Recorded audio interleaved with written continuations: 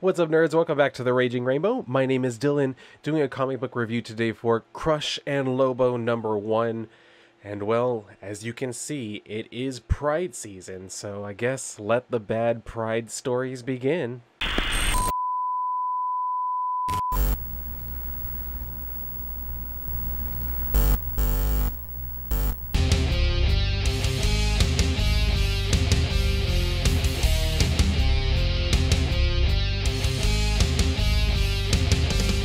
As I mentioned, guys, it is Pride season, and so that's basically what we got in this comic. It's a Pride story. It's about Crush and his uh, her girlfriend, uh, Katie. I mean, it says Crush and Lobo on the front, but this is that was really an afterthought. I guarantee it.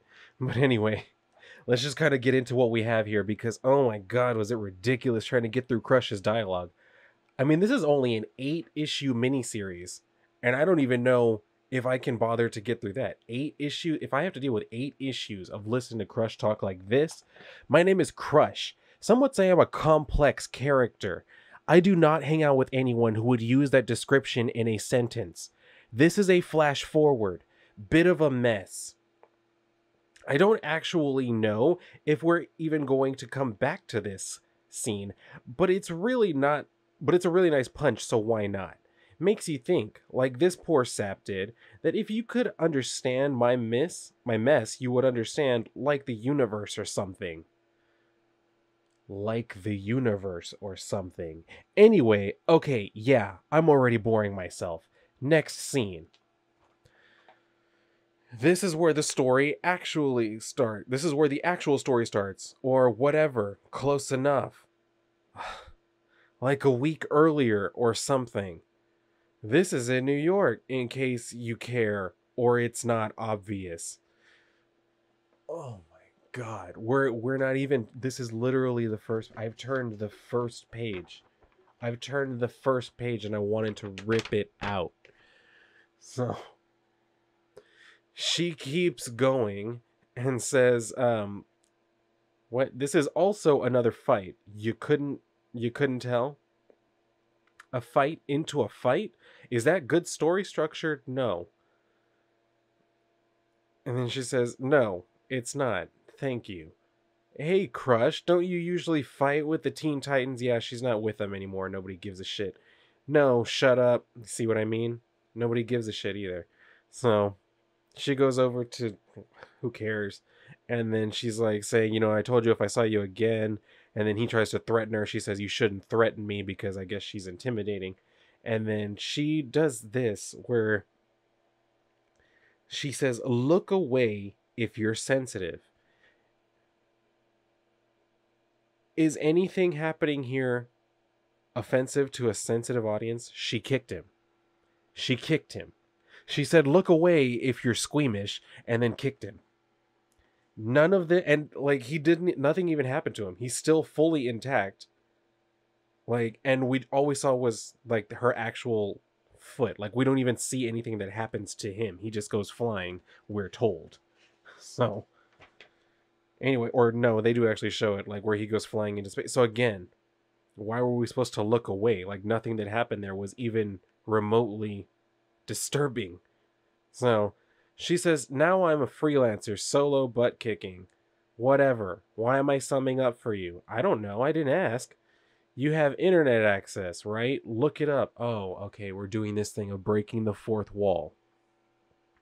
Because everybody who we want to be funny needs to be Deadpool. So she pulls out her stupid phone with this ridiculous ass case. And then, of course, we can see, ah, it's Katie's birthday. And of course, she has to tell us, Katie's my girlfriend. So we get that part in there. And then she goes over, she's getting ready to go over to Katie's like party or whatever on her bike so she shows up and shows up to this very nice party. I mean, damn, look at this. So she shows up and like her friends are all excited to see her. Like Katie's friends are all excited to see her. And so they at first think her name is Trish. She says it's Crush. And so they're all excited. She decides to just go ahead and go in. And then all of a sudden, Katie's parents come up to her and they're they look very disturbing. But at least they're being like overly nice and friendly. Like they're excited that she's here. They go up and like they're saying hi to her and everything. And then the mom says, You must be Tasha, to which she does this sociopath routine where she's like, Actually, it's crush, like as in destroy, or just like smush politely. Calm down, meth head. Like, what the fuck? So she goes on and bumps the cake and like knocks it down, but before she can actually knock it down, Katie comes over and saves it. And what what the hell? What is what is what are you wearing? Is that are you the clown at your own birthday party? Are those polka dot pa- Ugh. So they decide to go and dance.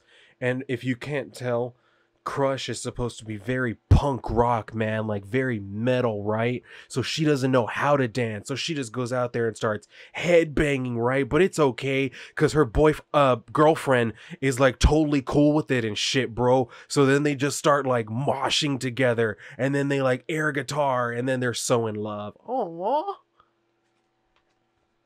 I wanted to burn this book. I swear to God. I don't ever advocate for the burning of books, but maybe this one. so after that, they go back and the parents are still being all creepy or whatever. So she decides to like take off. She says she has to go do a thing. Okay. So she takes off to go do her thing.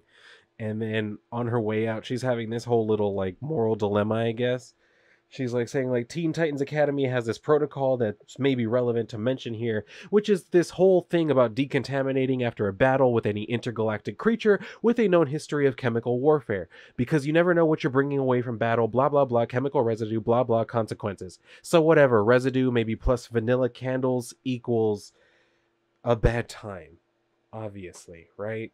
So she has to run back to go and save the day, sort of so she runs in, and of course, everybody's like starting to freak out. They're trying to like get out as she's running in. So she's like telling them, like, okay, yeah, run. I think that is the best solution for y'all. So Katie and her parents are coming out and everything, right? And then, of course, she goes up and has to confront Crush. Oh my god. So I'm not even going to entertain reading any of this. So basically, she just ends up telling her, like, you know what, I need you to leave. Like, you ruined the whole party. So you just need to go piss off. So she leaves, she goes back home, and then Emiko Queen Red Arrow shows up and is trying to like get her to come and open the door. And she doesn't want to open the door. So she says, like, open up or I will buy you a welcome mat and staple it to your so she comes out and says, Red Arrow, how can I help you? Because I guess that part was funny. The whole part about her threatening to staple a welcome mat to some part of her anatomy, I guess. That was enough to get her to come out.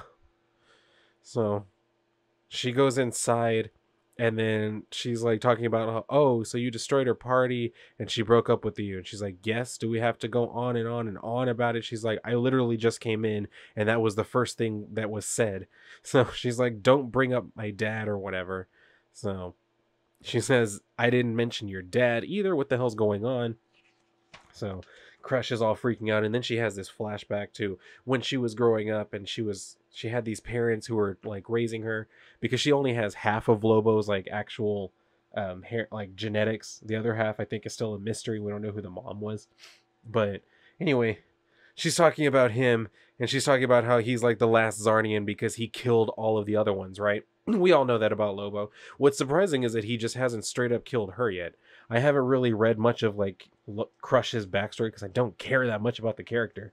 Like we didn't need girl Lobo. We really didn't. We had Lobo, and y'all have been like ever since what happened when y'all tried to reboot him in the new 52 with that redesign y'all have just been fucking with the character since then so i mean i don't know why you decided to like make this there was no point there really wasn't there was absolutely zero point except to make lesbian lobo so that's what we have. So Lesbian Lobo is having a hard go of it right now.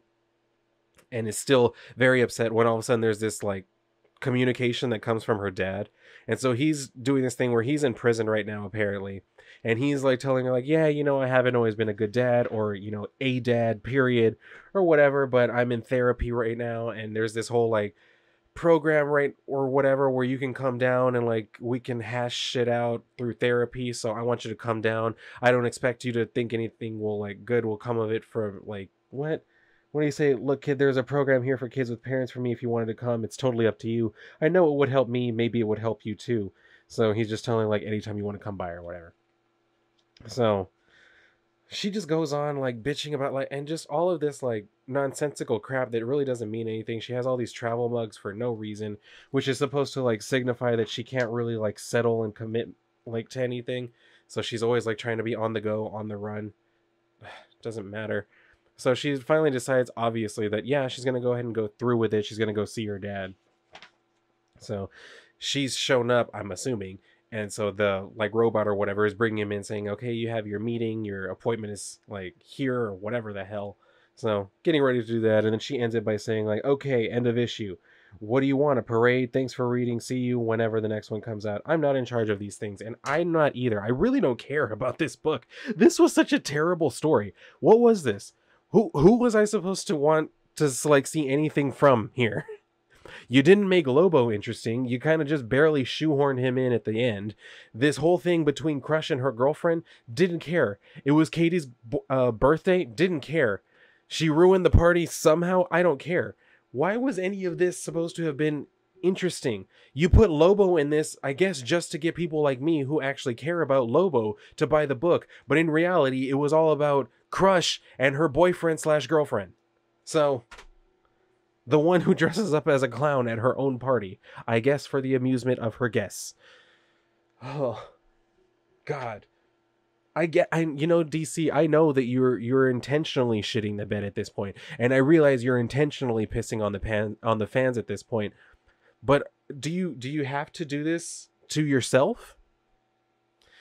I don't know. I just I guess you know this is the the route they're going to take with this so whether I like it or not I guess I'm just kind of in for the ride so.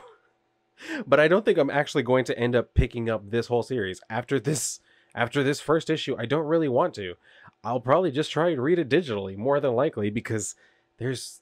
I can't. I don't even care about this character that much. I like Lobo, but I don't care about Crush enough to want to read her series featuring Lobo. You know what I mean? So I'm just. It's not for me. I really don't think it is. But if you guys have read this, I would love to know what you thought of this first issue of Crush and Lobo, Lesbian Lobo, and Dad Lobo, I guess. But yeah, let me know what you guys thought down in the comment section. Like the video if you like the video, and subscribe if you want to come back for more comic book reviews. But if you guys are done here, then go read a book. And if not, then I will see you on the next video.